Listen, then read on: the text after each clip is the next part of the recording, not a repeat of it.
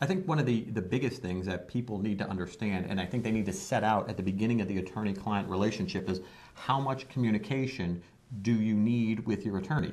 I, I can, I, and I want you to elaborate on this, but I know from my practice that I have some clients who don't care. They say, Carmen, handle it and te- check in with me once a month and let me know if everything's okay. And if I don't hear from you, I, I know everything's okay.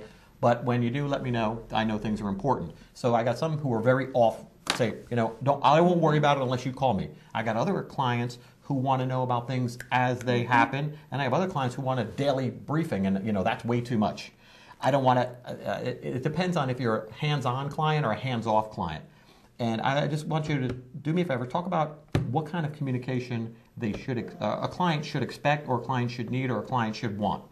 Right. Well, obviously, like you said, that's an individual situation, and de- and depending on the facts of your case and your situation. But that's one of the main things you'll want to talk to your attorney about. Um, what's important to you? What are you looking for? And what can your attorney do in response to that? Um, in the technology that we have now available with email communications are you know a good way. Find out from your attorney will they only talk to you via email or will it be personal letters? Will you get phone calls every day every month every week? What do you want? And then make sure that that's compatible with what the attorney can do for you. Um, And again, I think, I'm sorry to interrupt you, but I think a part of that is cost.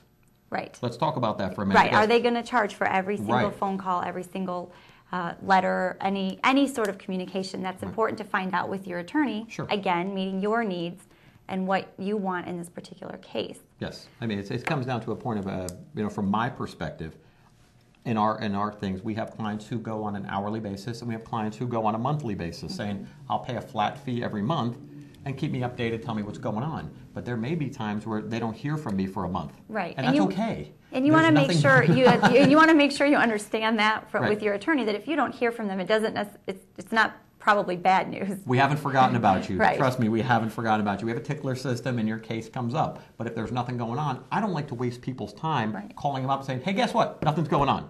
Correct. Now, now, if I have a client who says, Carmen, I want that, then of course I'm going to do it for you. I have no problem with that.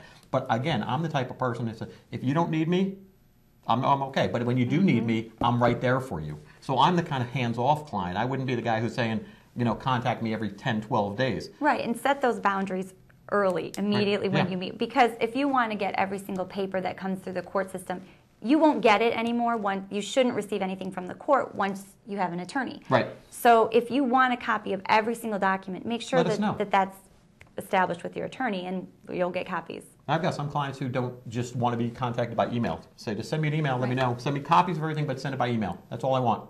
And I have no problem And with some that. people still don't do email. They Yeah. they like the phone call. They like They the like the, the personal contact of that. And I think it's great. I mean, I, that's why it's very important, again, to establish that rapport at the mm-hmm. beginning.